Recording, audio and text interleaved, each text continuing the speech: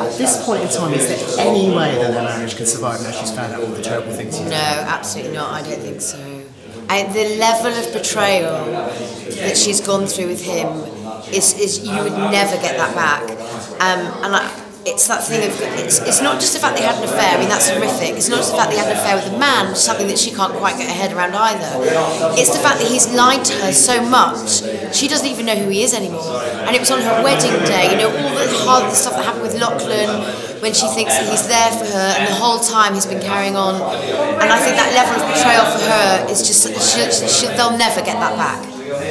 Now, Chrissie gets to set a rather expensive looking sports car on fire in this Yes. episode. Tell us a bit about that. I mean, are you down with fire? Are you a bit scared of fire? What was it like? We felt very safe because everything was covered. You know, we were we had uh, fireproofing clothes, we had protectant on, we had fi- lots of fire behind. As soon as the wind changed direction and the fire started heading towards me, people would just kind of pull me out of the way.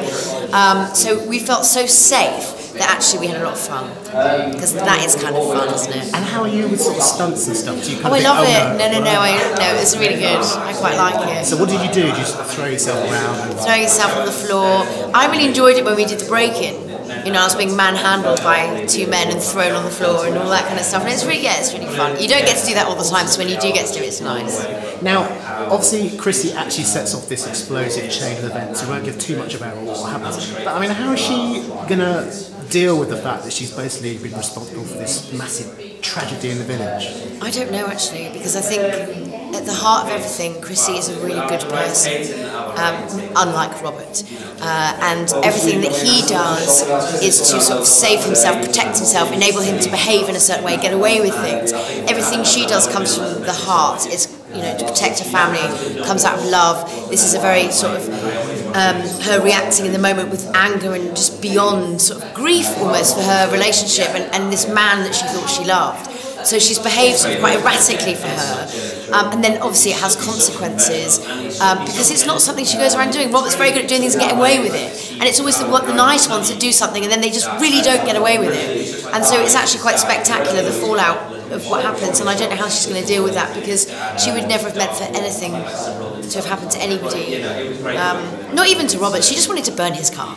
She wanted to hit him where it hurts. And, you know, Could Chrissie be facing a prison sentence? it's possible. I mean, you know, because of what happens afterwards, it's, it's highly possible. So I don't, I don't know what they've got in store for her. Brilliant. How do you think viewers are going to react to this week's episodes? Or how do you hope they're going to react? I hope that they can see that she's coming from a good place and that, that everyone just doesn't suddenly turn on Chrissie Sugden because I think that this, she's actually the victim here. There's a lot of victims now, but I think Chrissie Sugden is, is the main victim.